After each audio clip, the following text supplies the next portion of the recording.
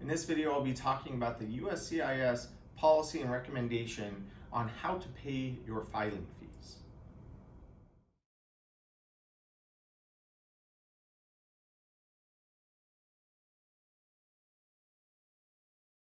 Welcome back. My name is Jeremy Richards. I'm a U.S. immigration lawyer with the law offices of Richards and Jurusik, where we solely practice U.S. immigration law.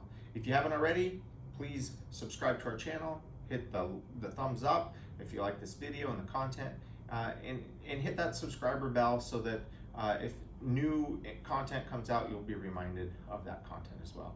And look, look below in the comments because we provide helpful information about the content of this video as well as other helpful U.S. immigration content. USCIS recently updated its policy uh, regarding payment of filing fees it used to be that you could submit a filing fee uh, for a case in one check. So, for example, if you're you're doing an H-1B visa, and I think this is when it, it, it most often is is relevant because H-1Bs can have several different filing fees. You can have your $500 fraud fee. You can have your $460 I-129 fee. You have your $1,500 ACWIA fee, and you could also have your $2,500 premium processing fee in years past, you would be able to combine those fees into one check. This premium processing fee in one check, and then the 460, the 500, the 1500, and another check. USCIS has requested that every fee that you pay to them now be done in a separate payment form.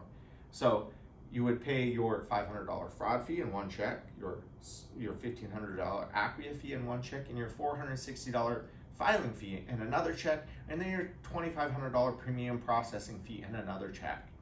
Uh, this is a request from USCIS that they want every one of the, every payment that you make to them in a separate payment form. Now, this would also apply to adjustment of status. So if you're paying for adjustment of status, they want your filing fee for the form I-130, for the form I-485, as well as your biometrics fee, all separate payments. So a separate payment check for each of those filing fees. If you fail to do this, USCIS could reject your case and kick it back, which is very frustrating. So make sure when you're paying your filing fees that you're complying with this USCIS request, that every payment that you make to them be on a separate check. And make sure, obviously, that you are providing the correct payment form uh, and that it's made out to the, to the correct entity as well. And below in the comments, we provide information on how to pay by credit card as well as how to pay by check to make sure that you are paying these fees properly. Again, make sure when you do pay the fees from now on that they are that a separate fee or a separate check is submitted for each uh, USCIS filing fee or biometrics fee. If you have any other questions about U.S. immigration law, that's all we practice.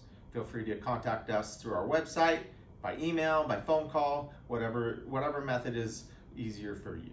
If you have any other questions or need assistance, feel free to contact us directly. Thank you for watching and have a great day.